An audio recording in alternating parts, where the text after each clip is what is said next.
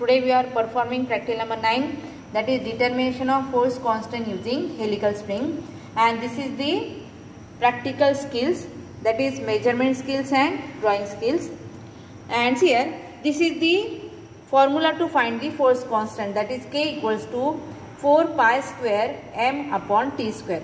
And this is the experimental setup for this practical that is we use the helical spring these are the slotted weights of 50 grams or 100 grams and here we use the scale meter scale and here this is the actual experimental setup that is helical spring then this pointer weight attached and this is meter scale and this is the stand called as retort stand.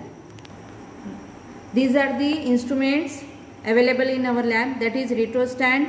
This is called as helical spring. Then these are the slotted weights of 50 gram. This is weight with hanger. Then meter scale or smaller scale. Then we start procedure. This is the observation table. First observation is least count of meter scale. And here it is observed that least count of our meter scale is 0.1 centimeter and this is the observation table to find the force constant and first column is load attached. First load is 0 that means there is no load in spring.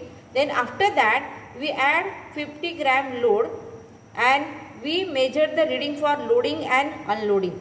And after that we find the mean reading of that loading and unloading. From this manual here it is observed that first reading is that is 5 seconds.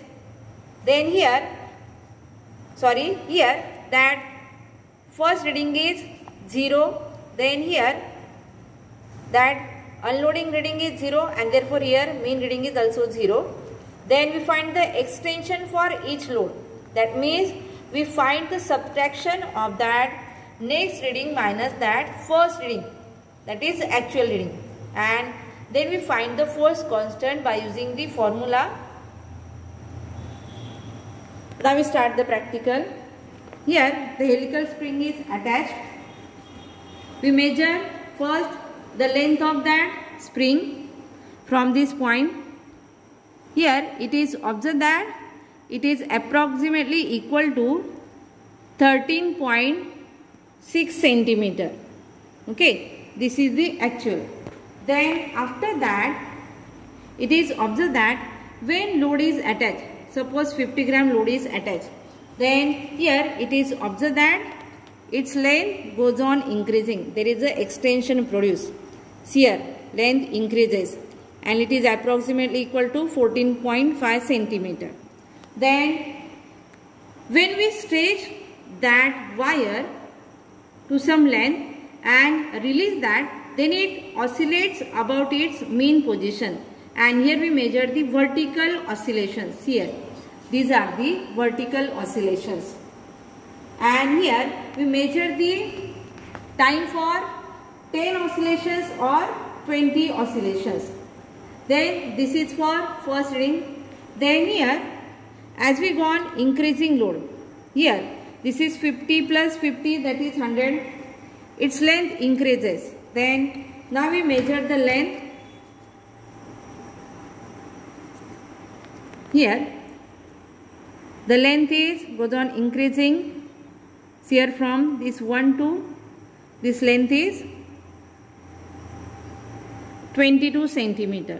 Here as load increases then its length also increases. Then when we stretch that wire and release that then our aim is to measure the time required for 20 oscillations. Then here for example here we stage and release that. Then here when we reach that higher position then this is mean point again higher point then mean point higher point.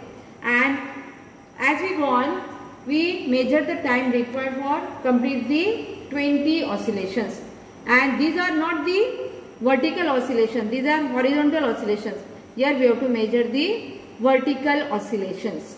And again if we add the third load, again its length increases and here it is observed that as we go on increasing the load, then to complete 20 oscillations. It takes more time to complete that 20 oscillations.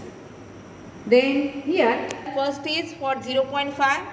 Here for loading that is 11 seconds for 100 gram reading is 14 seconds.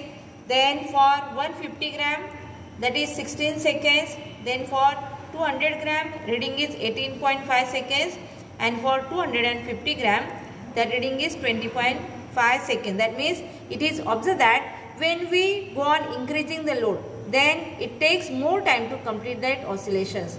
And here unloading means when we release that load. Here the procedure is different. That first load is 250 gram then we remove one load that is then its total weight is 200 gram. Then again in next step we remove one load. Then last that it has no load on the wire. Then here find the mean reading. That is for example 11 plus 9 then here we get the mean reading as 10 then here extension for each load. Then formula is each reading minus that first reading.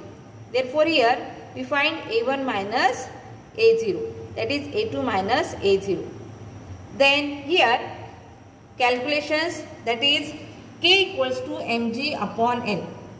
And here mg means here this is m means mass attached into gravity. For example this second ring 0.50 into g has value 9.81 then we get that value upon L. L means its length. Then here we put sorry here extension for that each load.